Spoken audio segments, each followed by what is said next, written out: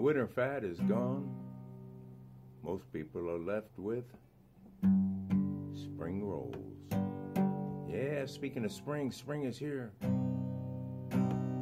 It's like skiing down a wet, slippery slope. And suddenly you become a tree hugger. Skiing drama is making a mountain out of moguls. Dominatrix ski bums love cutting a sharp edge. I'm an avid cross country skier, but so far I've never left America. On skis, that is. Just by the way, vinyl has outsold CDs for the first time since 1980s.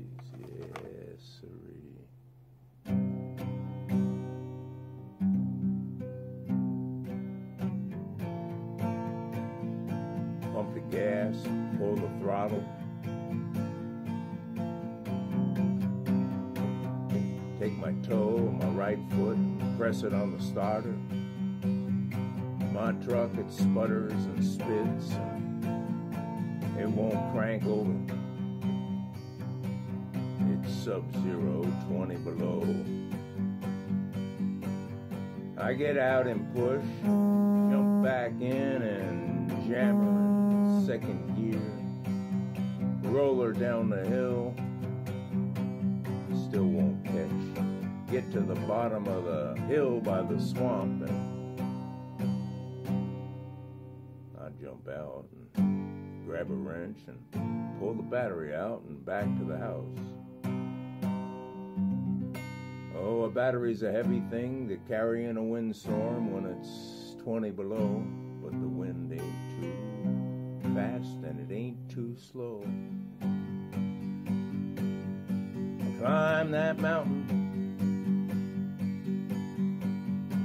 get back in the cabin, stick that battery right next to the wood stove, see if I can thaw it out before it cracks.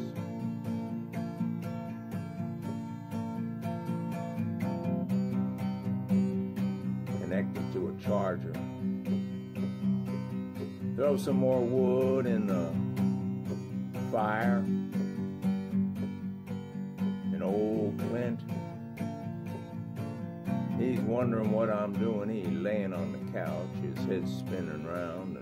And about a half hour later, I figure I got enough charge in that battery to crank that old Chevy over.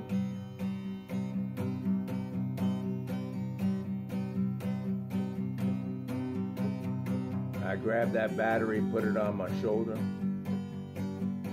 proceed to leave the house, and old Clint is barking and howling. He wants to go with me, and I say, This ain't no morning to be leaving a dog out in the windstorm.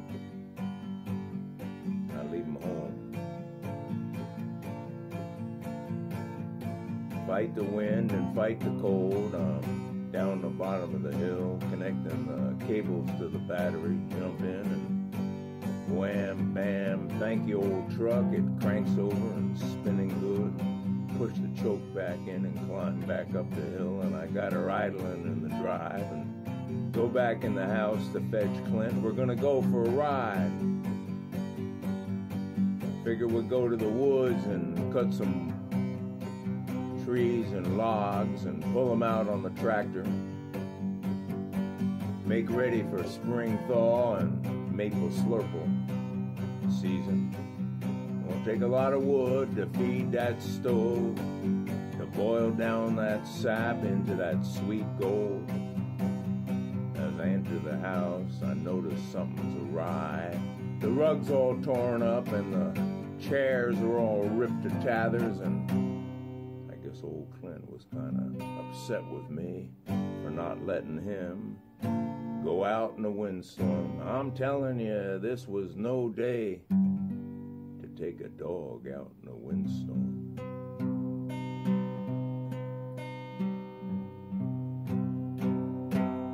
Well, that's the story of Clint and me. I'll tell you another story about Clint. Came home one time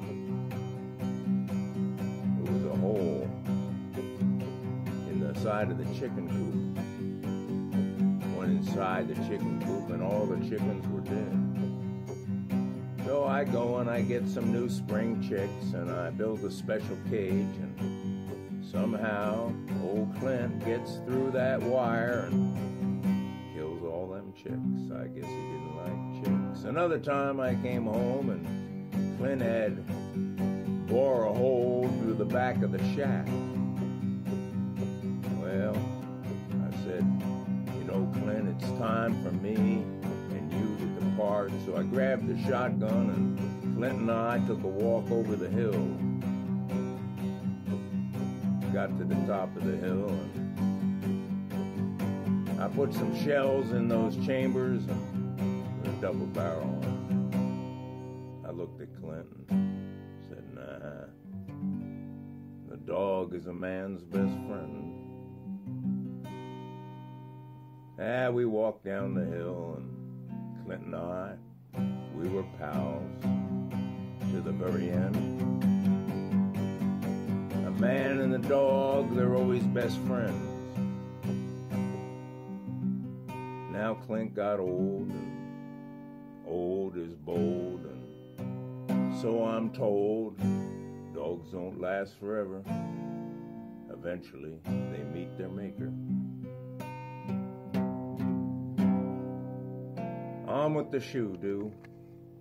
Enjoy. Or not.